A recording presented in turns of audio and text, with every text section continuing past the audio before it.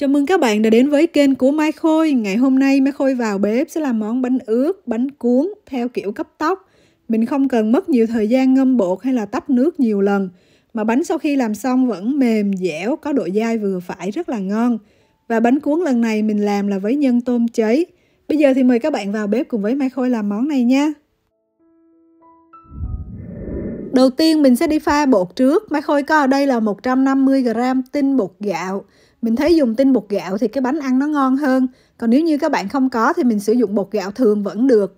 Rồi mình cho vào đây là 75g tinh bột khoai tây và 75g bột năng.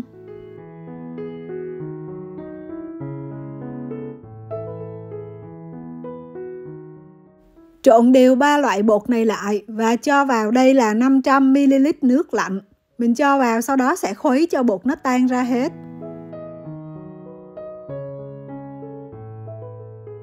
Sau khi khuấy bột cho nó tan ra hết rồi thì Mai Khôi sẽ cho nguyên cái tô bột này lên trên cái cân.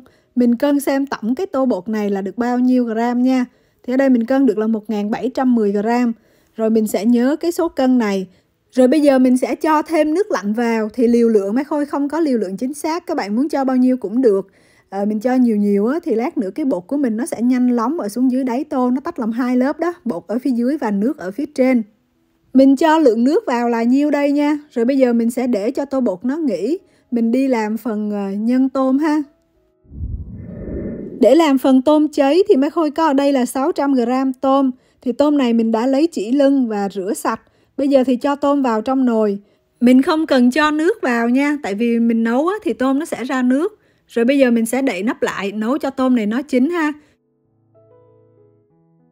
Và đây tôm của mình đã chín rồi nè đó mình không cần cho nước mà các bạn thấy nước nó ra quá trời nè rồi bây giờ mình sẽ tắt bếp và tách bỏ cái vỏ tôm này đi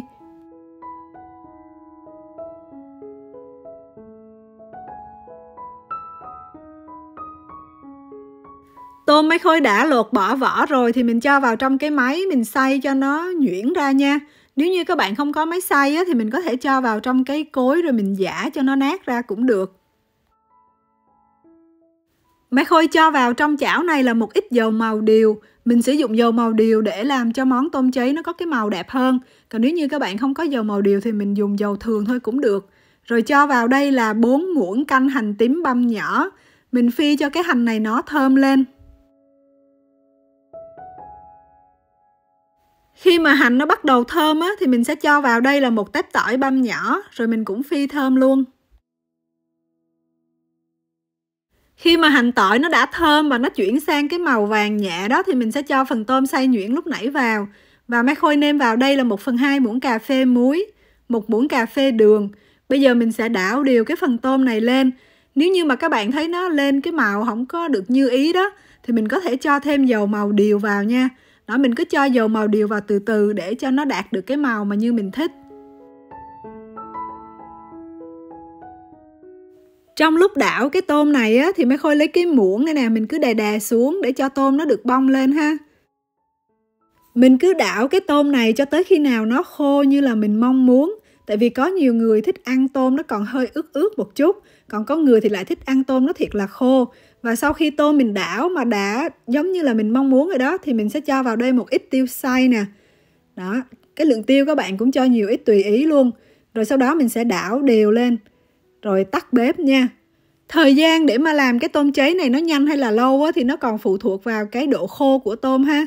Mấy khôi thì thích ăn cái tôm nó có độ khô vừa phải thôi chứ mình không có thích nó quá khô. Đó vậy là xong cái phần ờ, nhân tôm cháy rồi nha. Bây giờ mình sẽ quay trở lại với cái tô bột ha.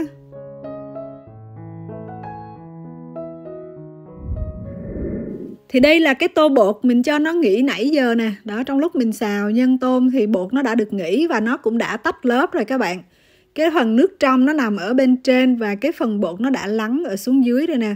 Giờ mấy khối sẽ đổ bỏ cái phần nước trong này đi nha. Và đây cái tô bột mấy khôi đã đổ bỏ cái phần nước trong đi rồi nè. Đó mình bỏ càng nhiều càng tốt ha. Mình chỉ lấy lại cái phần bột phía dưới thôi. Rồi sau đó mình sẽ lấy nguyên cái tô bột này mình cho lên cân lại.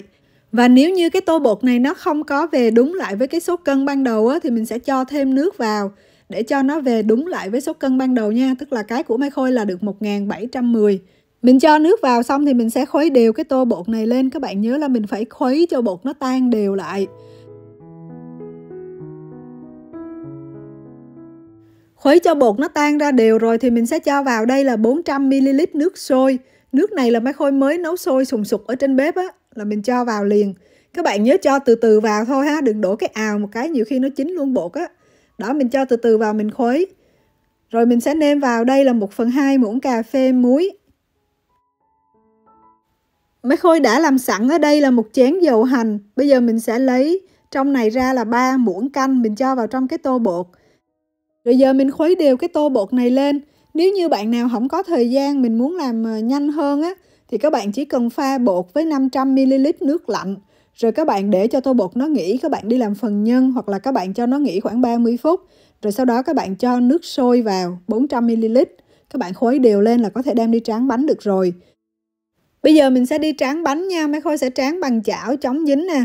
Thì mình quét vào đây một lớp dầu, mình cũng sử dụng dầu trong chén dầu hành đó. Đó, mình quét đều lên, rồi sau đó mình sẽ dùng cái bình à, xịt nước nè, xịt phun sương á. Mấy khôi xịt vào đây khoảng 2 3 cái.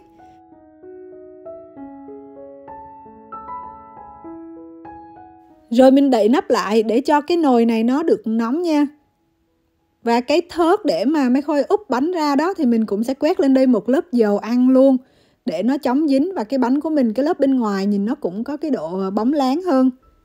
Rồi cái chảo của mấy khôi nó đã đủ nóng rồi nè. Thì bây giờ mình sẽ khuấy cái tô bột lại cho nó đều á, rồi mình múc một cái vá bột mình cho vào. Mình láng cái bột này ra và mấy khôi cũng sử dụng cái bình à, xịt này nè, mình xịt vào đây thêm cũng hai ba cái nữa. Rồi mình đậy nắp lại đợi cho bánh nó chín. Sau 30-45 giây là cái bánh của mình nó chín rồi nè. Đó nó nhanh chín lắm. Các bạn thấy cái phần bột đó, nó phồng lên. Bây giờ mấy khôi sẽ úp cái chảo này ra cái thớt nha để lấy bánh ra đó. Hoặc là các bạn có thể cho nhân vào trong cái ờ, chảo bánh mình cuốn trực tiếp trên chảo luôn. Rồi mình quay trở lại với cái chảo này thì các bạn thấy nó có một lớp bột nó bị khô thì mình lấy cái khăn giấy á, mình uh, lau nó đi mình lấy ra rồi sau đó mấy khôi sẽ ờ, khuấy cái tô bột lại, rồi mình cũng múc một vá bột vào đây mình láng tiếp ha. Dầu ăn thì mấy khôi chỉ cho ngay lúc đầu thôi, còn mấy cái sau thì mình không có cần quét dầu ăn đâu, tại vì trong bột mình cũng đã có dầu ăn rồi. Rồi mình xịt vào đây vài cái nè, rồi đậy nắp lại. Rồi mình quay qua cái bánh nè, thì lúc nãy mình úp ra nó bị ờ, rớt lại, nó dính vào á, thì mình gỡ nó ra, mình kéo cho nó to ra ha. Thì nếu như các bạn làm bánh cuốn thì mình cho phần nhân tôm vào. Còn nếu như các bạn làm bánh ướt á, thì mình khỏi cho nhân. Đó mình cho vào đây là tôm. Thì lượng nhân các bạn cho nhiều ít tùy ý sau đó mình sẽ cuốn nó lại. Còn nếu như các bạn không thích ăn nhân tôm thì mình có thể thay bằng nhân thịt nấm mèo nha. Đó mình xong một cái bánh này này các bạn. Thì mình quay trở lại với cái chảo là cái bánh của mình nó vừa chín luôn. Mình lấy cái chảo này mình úp lên cái thớt nè để lấy bánh ra. Đó nói chung là mình cứ làm những cái động tác như vậy lặp đi lặp lại cho tới khi nào mà hết cái phần bột luôn.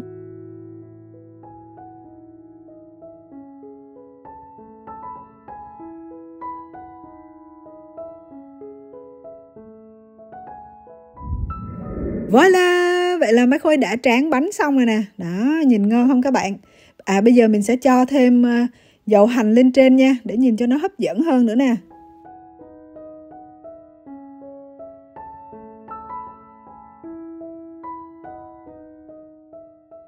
Có dầu hành rồi thì không thể thiếu hành phi nha. Đó, mình rắc lên nè các bạn.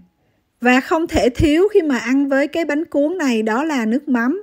Thì ở đây mấy khôi đã pha sẵn rồi nè cái nước mắm này mình đã quay nhiều rồi cho nên ở đây mấy khôi không có quay nữa sợ mất thời gian của các bạn coi đó. Cho nên mình chỉ nói tỷ lệ thôi nha. Tỷ lệ mình pha là 113 tức là một nước mắm một đường và ba nước. Nếu nhà bạn nào ăn nó lạc hơn á, thì mình pha tỷ lệ là 4 nước. Rồi nếu mà bạn thích ăn nó có vị chua thì mình cho vào tỷ lệ là một nước cốt chanh ha. Rồi sau đó mình cho ớt hay là tỏi vào tùy ý. Và đây là cái bánh cuốn nhân tôm cháy nè mấy khôi cầm gần cho các bạn xem đó, bây giờ mình gấp nó lại ha. Rồi à, mình cuốn nó lại. Nói chung là mình biểu diễn đó để cho các bạn thấy được cái sự dẻo dai của bánh.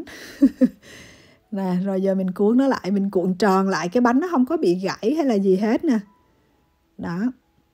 Cầm cái bánh nó mềm lắm các bạn. Và khi mình uống lượng nó thì thấy được cái sự dẻo dai của bánh ha. Rồi mình kéo nó ra nè.